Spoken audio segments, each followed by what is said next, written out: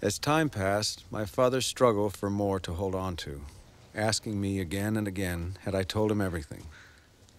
And finally, I said to him, Maybe all I really know about Paul is that he was a fine fisherman. You know more than that, my father said. He was beautiful. And that was the last time we ever spoke of my brother's death.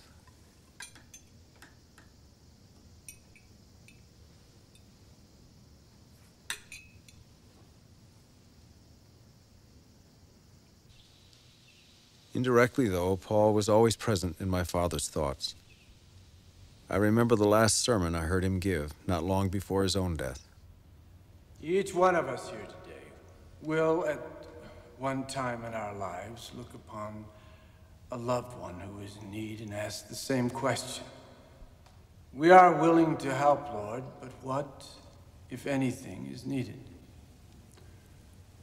For it is true we can seldom help those closest to us. Either we don't know what part of ourselves to give, or more often than not, the part we have to give is not wanted. And so it is those we live with and should know who elude us.